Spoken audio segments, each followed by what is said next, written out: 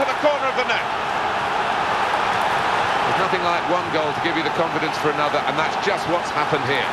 Oh, well, you have to feel sorry for the goalkeeper there because I think that was a decent save. And when he needed help from his defenders, he didn't get it.